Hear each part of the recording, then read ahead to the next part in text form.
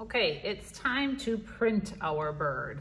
So the first thing you're gonna do is you're gonna get four pieces of paper about this size. You're gonna write your name and class code on all of them. And you're gonna write which number they are in just a minute. So name and class code, whatever your class code is. And write your name, not the word name. Don't write my name. Um, and then you're gonna write number one, two, three, four, and label which ones you're gonna do. So we're gonna do the number one first, two, then three, then four. And these are your papers that you're gonna print on. So I'm gonna push those off to the side for a minute and talk about printing. When we print, we're gonna add ink to this surface, not paint. Ink is a little bit thicker than paint. It's like toothpaste, it's a little bit thicker. We're gonna add ink to this plate is what we call it.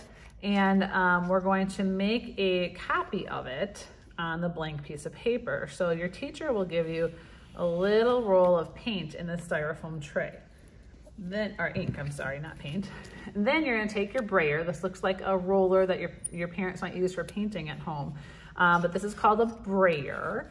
And we're going to just tap and then roll and tap and then roll. We don't wanna just roll back and forth like this.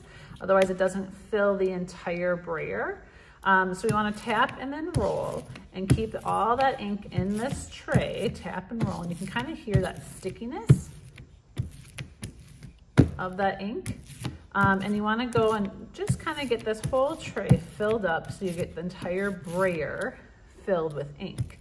Then you're gonna take it to the plate um, and this is where you're gonna see it. It's gonna roll on and hopefully if you've pressed down nice and hard, the little valleys where you've pressed with your um, pencil are not gonna get filled with ink, which is good. We're just applying this ink. And it might get on the paper behind you, so be careful that we're trying to keep it clean. And we roll it on like that. Always when you put your brayer down, don't put it brayer the roller side down, otherwise you'll make a huge mess on your table.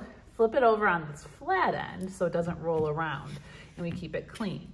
We're gonna go back to our plate here. I'm gonna pick up the number one, blank on this side.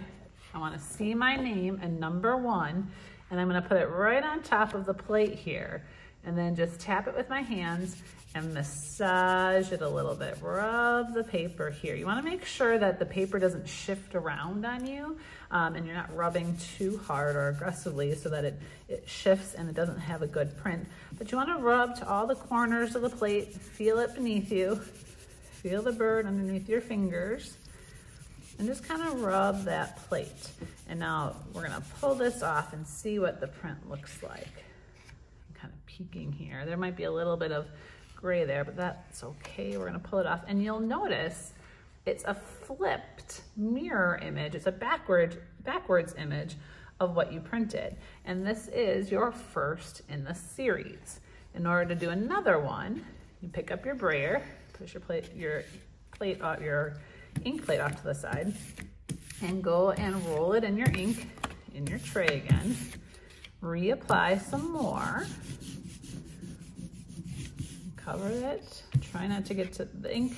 Looks like it's filling in those valleys, um, but you'd be surprised that it doesn't so much when you start to rub your other paper on. Flip the brayer over, go to number two so that you can see the number. You're um, gonna print on the blank side, see the number and your name going up. Again, place it down carefully so it doesn't shift and then start to massage it with your hands. All right. Now the last one had some gray areas. You see that kind of like ghost areas here? In order to make sure that we're getting a good print, you may have to rub it just a little bit longer with your fingers. Do some circling, do some massaging like that, and really nice and rub it to get all of that plate covered and really get it stuck to the paper and the ink in between. So after I've massaged it pretty well, again, I'm trying not to shift the paper like this in the plate because otherwise it'll be off and it'll be crooked underneath it. So I'm kind of holding it down with one hand or I'm rubbing it with the other, taking turns as I go. And if I peel this one back, let's see how this one looks. Same thing. If you see little spots like that, it might mean that there are little um, fuzzes or dirt specks in your, in your plate. Um, that's pretty normal. You can kind of wipe those off if you need to with your finger and then reapply. But you're gonna do that for one, two, three, and four, and you're gonna pick your best one later to add more to um, as we go on. So happy printing.